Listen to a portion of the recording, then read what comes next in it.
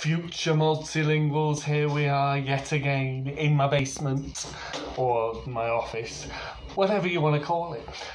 Now, future multilinguals, we're a small community, but I would hope that two things we agree on are this. If you're going to make a massive claim about language learning, you need to offer some evidence for it.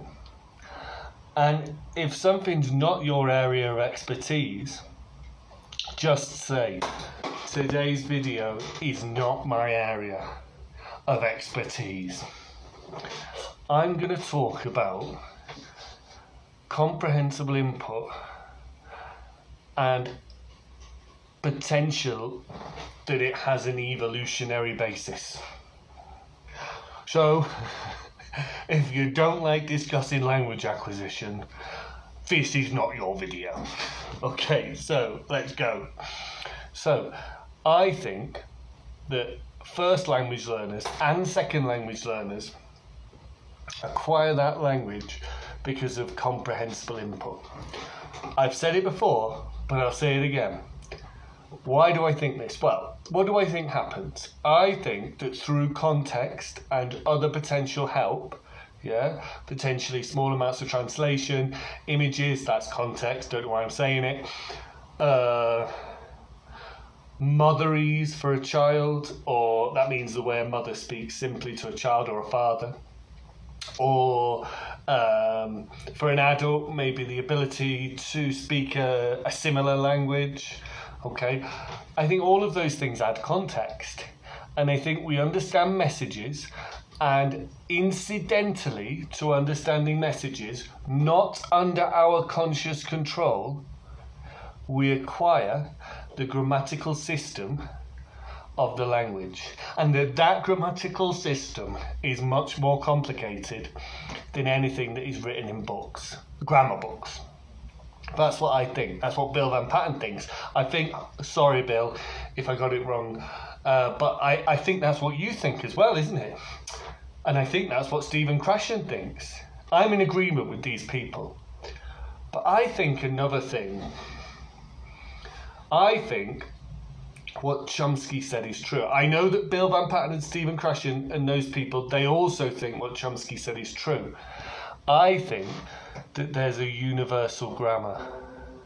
Now, what do I mean by that? I mean that we have this universal grammar in all and evolutionary, yeah, system that enables us to comprehend languages and extract from them the rules or the structure of the language. Why do I think this? Well, I think over time, us humans and languages have evolved together. I don't think it's necessary to prove, I think it would be strange to prove that humans are invo- evolved on their own and that language evolved on its own. I mean, it would be strange to think that, sorry. I don't think it's necessary to prove that, is it? So what, why is that important, James? Why is that important? You're getting all tongue-tied. Why are you tongue-tied? Well, this is important because, how do I describe this? I should have thought this before the video.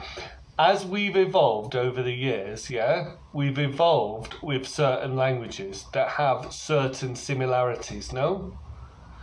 They're all vocal, yeah? They all involve subcategories, words, yeah, and they all involve grammatical systems that seem totally different but aren't. I mean, you might be able to tell me a language that doesn't have negation, for example, but I think they all do, no? Do all languages have verbs, nouns? Do they all involve a structure, a verb noun order? Look, they all have certain similarities. As Chomsky once said, if you were to look at the planet Earth as an alien, you wouldn't think we spoke different languages. You would think we were speaking dialects of the same language. You would notice the similarities where we notice the differences. And I think over time, our cognition has evolved with these languages to acquire languages of the type of languages that are spoken of on this planet. And that we acquire those languages, and our cognition has evolved to acquire those languages. Now, why is this important? Because I don't believe our cognition completely changes after about two years old, and that we suddenly have to learn languages in a completely different way, i.e., the opposite as in learn these abstract rules like phonetics. There was actually a comment on Twitter, I saw it on Lang Twitter, and somebody said, I think that I learn phonetics, grammar, and vocabulary, and somehow magically, and it would be magic, in my opinion. Look, I'm not, I'm not being rude. Just, I'm just saying I think this person is wrong. I think that's okay, no. Um, and it would be magic, in my opinion, if you held those abstract concepts in your head and somehow used those to create spontaneous spoken language. To me, that is so improbable. And I think that's this, it's obviously not true with the first language. Obviously not true. Kids do not do that. And I think if you think about it, if we've evolved evolved along with the languages which have evolved, we've all evolved together We have surely evolved to acquire languages in one way. How many? How long have phonetics and vocabulary? Uh, sorry, not vocabulary, and abstract descriptions of grammar existed? Why would it be that if we've evolved to acquire languages in one way, suddenly over the last few hundred years that's changed? Evolution out of the window. This is formal linguistics, and this is how you're going to learn languages. It is so, so improbable, people, in my mind. What do you think? Do you disagree with me? Was that your comment on Twitter? I can't remember who made that comment. Uh, do you think that people um, that people do learn things separately and bring them together magically when they speak? How do you justify that cognitively?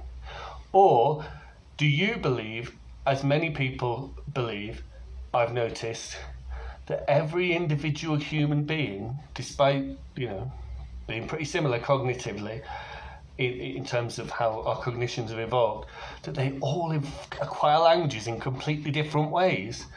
How can you justify that belief? I want to hear from you. Watch the video, subscribe to the channel, Comment, comment, comment. Let's have a debate. When you stress test your ideas, that's not being rude to people, that's having a discussion and constructing knowledge together. James, future multilingual. See you soon.